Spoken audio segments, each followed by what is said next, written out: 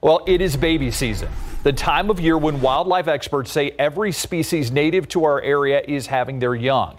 But many of the baby birds may have fallen to the ground blown out of their nests by our stormy weather. So, what do you do if you find one or any baby wildlife you think needs help? Jesse Degollado reports an act of kindness may actually lessen the chance of survival.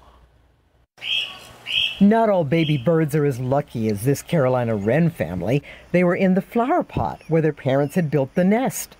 These baby cardinals had fallen out of their nest, but they were placed by the person who found them in a shoebox with shredded paper that was then securely placed back in the tree. Even though they'd been re-nested, the cardinal parents came back. 95% of the time they do. And that is true of squirrels, and baby birds who often do get blown out of the trees. Yet she cautions against trying to take care of them at home. We cannot give them absolutely everything the mother gives them. It's simply not humanly possible. Like any baby wildlife, like this little cottontail, they're found when their shallow nests in the ground are run over by lawnmowers. The mother lines it with her fur. So you will see some fur. That's the mother's fur.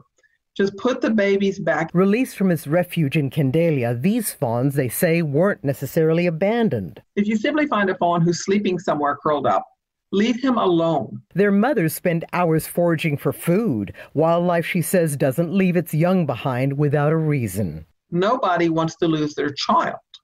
And that is simply true of wildlife as well. Their mothers are devoted to them. They are devoted to their mothers. They need each other. Let's leave them together. Jesse Degollado, KSAT 12 News.